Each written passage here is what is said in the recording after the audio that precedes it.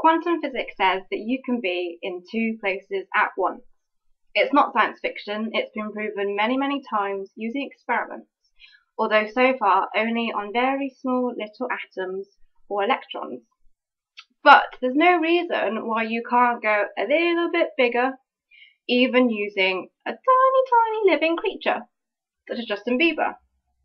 I'm going to simulate a famous experiment performed over 200 years ago that would allow Bieber to be in two places at once. It's called Young's double slit experiment.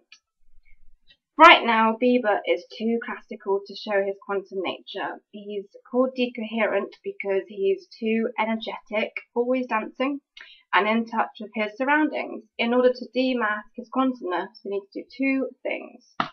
First, we levitate him, and secondly, we make him less hot. I'm only kidding, I meant temperature hot.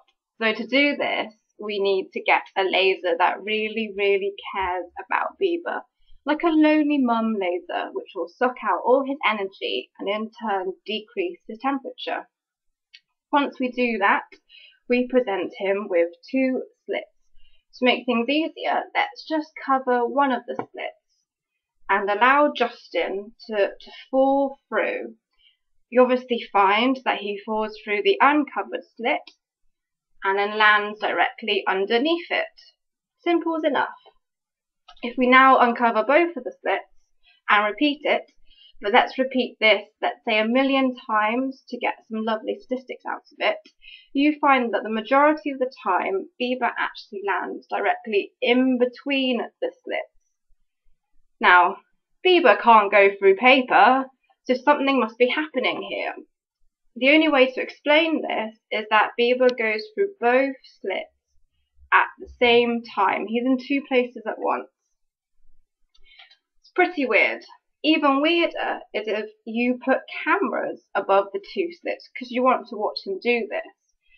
As soon as you do this, you find that Bieber will only go through one slit at a time and then land directly underneath it. He no longer will land in between the two slits.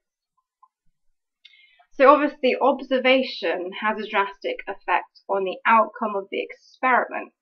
Observation is actually a cause of decoherence. Basically weird things don't want to be watched whilst they're being weird. An extreme version of this, although it's only a thought experiment, is called Schrodinger's cat, which involves a cat subjected to radiation inside a closed box. It's said to be simultaneously dead and alive at the same time until you open the box. Ugh.